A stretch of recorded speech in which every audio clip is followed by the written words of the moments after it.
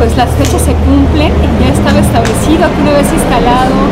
el Comité de Participación Ciudadana había un plazo para la instalación del Comité Coordinador, le vamos dando forma a nuestro Sistema Nacional Anticorrupción y pues la gran pregunta para nosotros los mexicanos es si esto nos va a servir o no nos va a servir. Si este, este grupo pues va a tener pues el talento, la energía para poder mover los engranajes para que la corrupción pueda ser eventualmente controlada en este país. Eh, yo creo que pues, están las simientes,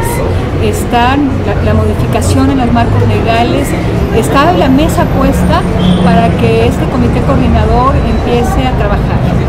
Eh, sí necesitamos agendas concretas,